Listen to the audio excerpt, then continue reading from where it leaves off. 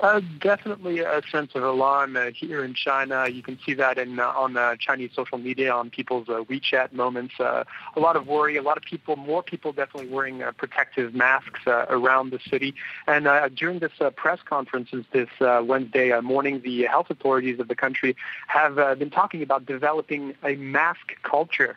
so really trying to drill home some of these reflexes, some of those good habits to prevent the spread of this new disease um, caused by coronavirus, still uh, very, relatively mysterious. Authorities are saying that it could mutate and spread more easily. Um, uh, so really what they're trying to do here is to avoid a, a, a new SARS epidemic, which in 2002-2003 uh, killed uh, approximately over 700 uh, people. So officials really uh, putting everything at their disposal to stop this. A lot of uh, screening, uh, a lot of body temperature uh, uh tests around the country in airports, in uh, bus stations, in train stations, a quarantine of suspected cases, a huge awareness campaign, uh, and a really an emphasis on transparent communication, especially abroad with other health authorities um, with its first case uh, uh, confirmed in the United States. And, and this uh, meeting scheduled for Wednesday, for this Wednesday uh, in Geneva at the World Health Organization to decide whether or not this is an international public health crisis, um, just the same as Ebola in 2014 or, or the swine flu epidemic in 2009. Uh, that decision will be made uh, in Geneva this Wednesday.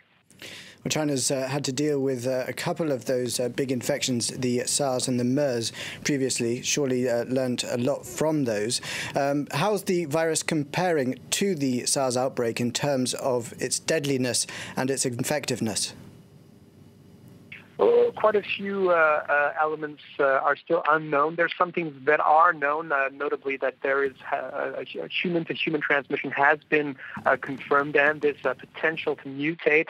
Um, one report from an infectious disease journal has said that it is a, a milder disease than SARS, um, but still quite a few questions remain. Um, the, so- the exact sources of this disease are still need to be defined. One market in Wuhan, a seafood market that also uh, sold a number of other uh, wild animals, has been shut down, has been um, disinfected, but maybe there are other such markets uh, in Wuhan. Uh, what's also not known is, is, is how long this disease takes to incubate, how long someone can carry the disease without showing any symptoms.